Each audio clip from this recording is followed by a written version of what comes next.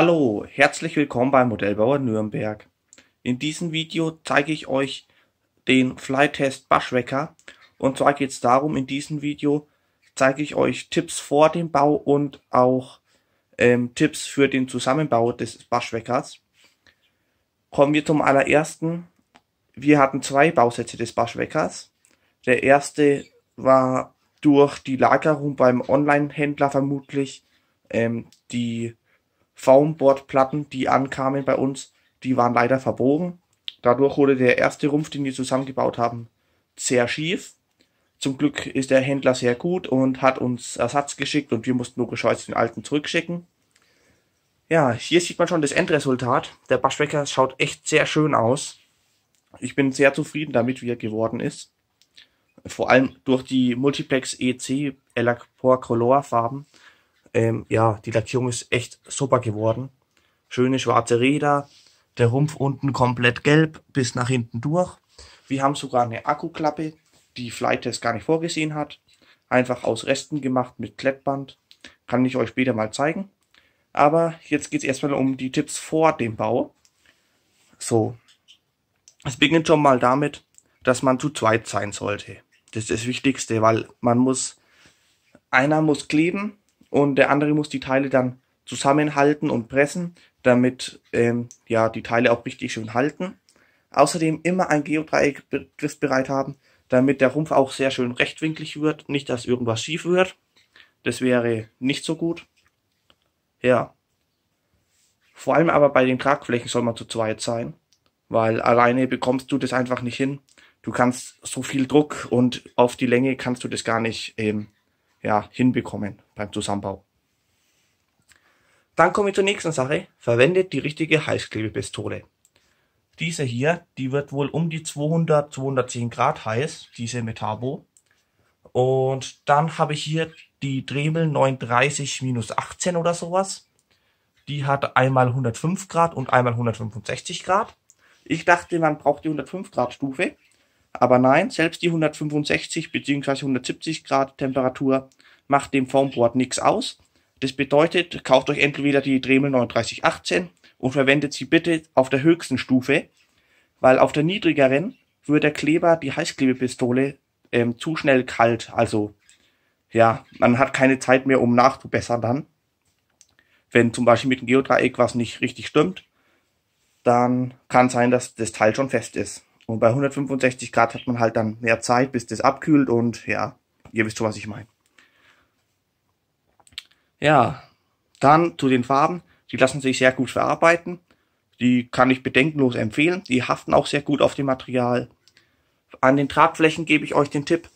Lasst diese komische braune Folie einfach komplett drauf und lackiert dann drüber über diese Folie. Das ist ein sehr wichtiger Tipp, weil dann kann man einfach viel besser ähm, ja, damit arbeiten. Und ansonsten beim Rumpf könnt ihr ruhig die Folie abziehen, auch beim Fahrwerk, ähm, an den Seiten- und Höhenruder und so weiter. Zieht ruhig die Folie überall ab. Alles, was den Rumpf betrifft, könnt ihr komplett abziehen eigentlich. Da ist die Folie nicht ganz so wichtig. Aber ihr müsst beachten, ähm, immer beidseitig abziehen. Wenn ihr nur eine Seite abzieht, dann ähm, kann sein, dass sich das Material wölbt. Und dann kommt noch ein Tipp. Kauft euch aus dem Baumarkt ähm, eine Designfolie. Ihr könnt euch eine Farbe aussuchen. Ich habe weiß genommen, ist halt eine schöne Grundfarbe, die einfach ja selbstklebend ist auf einer Seite und auf der anderen Seite so ein Papier ist. Und die schneidet ihr dann aus und ihr könnt die dann für die Seiten- und Höhenruder als Gelenke verwenden, die man hier eventuell erkennen kann. Ja, das funktioniert einwandfrei und ihr könnt darüber auch lackieren, sehr schön. Das Beste an der Designfolie ist allerdings, man kann daraus auch Schablonen machen für die Fenster dann, weil da sind logischerweise keine, keine dabei. Muss man alles selber aufzeichnen und so weiter. Und dann klebt man das halt drauf und kann schön schwarz lackieren und so weiter. Also die Designfolie rechnet sich auf jeden Fall. Kostet auch nicht so viel, 5, 6, 7 Euro, je nach Größe, wie groß ihr eure Rolle kaufen wollt. Ja, Dann kommen wir zu den Akkus. Ich habe da Dreizeller Zippis mit 2200 mAh und 40C. Bei Hobby King natürlich geholt für um die 9 Euro ein Akku. Ich habe davon vier Stück.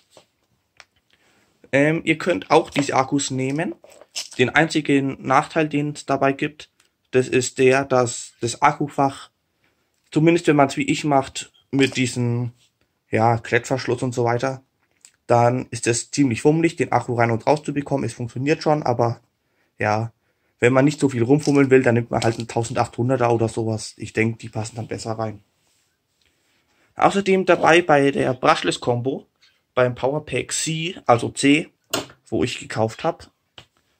Das auch 3D unterstützt und so weiter, also sehr viel Motorleistung hat und so weiter. Und auch Klappenservos in inkludiert sind. Da ist auch die Silipo Safety Bag dabei. Die verwende ich für die Auto-Akkus und die kleinere für die Flugzeug-Akkus. Wenn ihr eine Dremel 3918 kaufen solltet oder allgemein eine Heißklebepistole halt, die 170 Grad heiß bzw. warm wird. Ähm, es gibt auch Akku-Heißklebepistolen.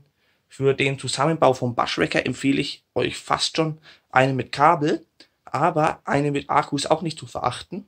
Die könnt ihr nämlich aufs Flugbefeld mitnehmen und dann, falls was abbrechen sollte an eurem Modell, könnt ihr vor Ort dann mit der Akkuheißklebe was kleben. Also am besten ist es, wenn ihr es wollt, kauft so eine mit Kabel und eine mit Akku für unterwegs. Und für Heißklebesticks kann ich euch diese B-Way empfehlen. Die funktionieren einwandfrei, so gut wie die Original Dremel und sind deutlich billiger. Das sind nämlich 80 Stück und die kosten, glaube ich, 8, 9 Euro. Und die sind auch länger, die sind 14 bis 15 Zentimeter lang und die Dremel sind nur 10 Zentimeter lang. Und die schmelzen auch sehr gut und lassen sich einwandfrei verarbeiten. Ich zeige euch mal den Akkuschacht, was ich entwickelt habe. So, hier sieht man schon.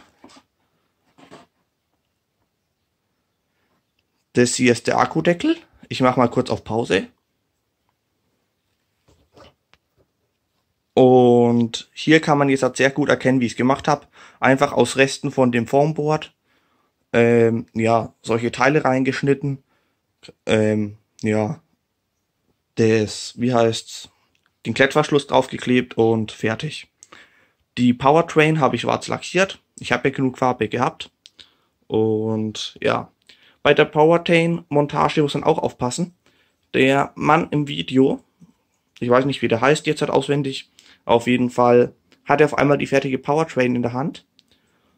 Und ja, wie, was soll ich sagen, bei unseren hier in Deutschland, wenn man dieses Graubner Powerpack kauft, da ist immer ein Motor dabei, Servos, was man halt alles benötigt für den Baschwecker zum Beispiel. Allerdings ist nicht dieses x-förmige Teil dabei aus Aluminium, das man im Bauvideo des Baschweckers ähm, zu sehen bekommt. Und das bedeutet, dass der Motor zu nah am Rumpf hier vorne ist und der Propeller hier dran schreddern würde. Das habe ich bemerkt, äh, zum Glück, bevor ich es installiert habe und so weiter. Ja, dann habe ich einfach aus den Resten zwei Schichten von dieser Seite vom Formboard, also von der Dicke, ähm, ja, einfach so ein U ausgeschnitten, vorne zwei Schichten draufgeklatscht und schwarz lackiert und mit Panzerband nochmal umwickelt, wie im Video, Motor drauf und jetzt geht der Propeller, wie man sehen kann, ganz knapp vorbei. Funktioniert einwandfrei und ja, sowas ist halt schade, dass man es nicht im Video sieht. Die Lackierung in meinem Fall war sehr aufwendig.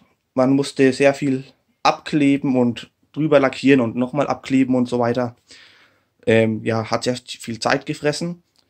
Ähm, viele meiner Farben sind komplett bis, ja, zu 99 Prozent, sage ich mal, leer. Am Grau zum Beispiel kann man gut erkennen.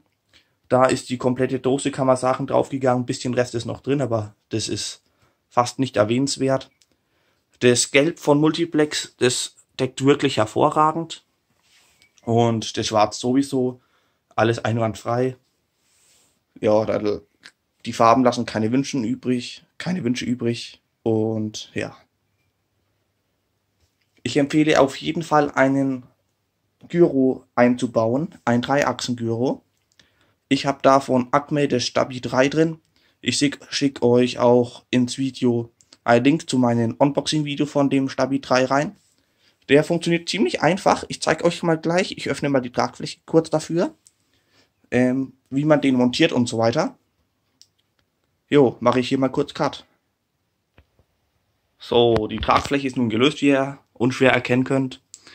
Hier ist jetzt der Stabi drin. Der muss in Flugrichtung, also nach vorne hier so montiert sein. Und wie ihr sehen könnt, liegend. Und ihr müsst hier ein kleines Teilchen unterfüttern. Habe ich einfach mit Foamboard gemacht und dann mit Heißklebe und diesen Schwingungsdämpfern, die mitgeliefert sind, ähm, drauf montiert. Die Montage geht eigentlich denkbar einfach. Man steckt diese ähm, Kabel, wo beim Acme Stabi 3 drin sind, einfach in den Empfänger. Und nicht wundern,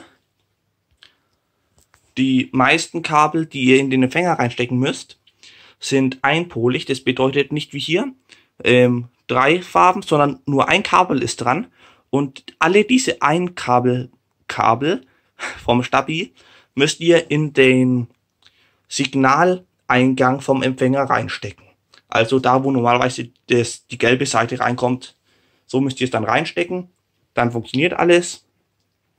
An den Stellschrauben hier kann man die Aggressivität einstellen vom Stabi, also wie stark stabilisiert.